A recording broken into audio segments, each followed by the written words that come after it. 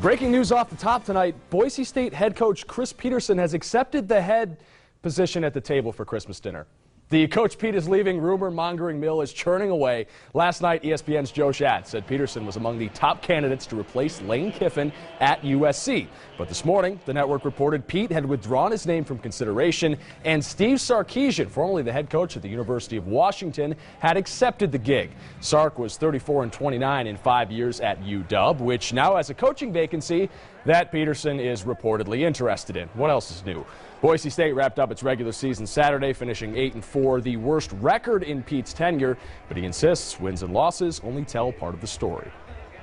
You win by you know those games by one point the other way. We do that. We're we're we're great and we're battlers and all that and you know, we don't, we can't get done. What we worry about is we play into our potential. You know, we've just had a lot of different things going like every team does and lost a lot of guys along the way. But I do think there's lessons in it that nothing can be taken for granted. We'll be better for it moving forward.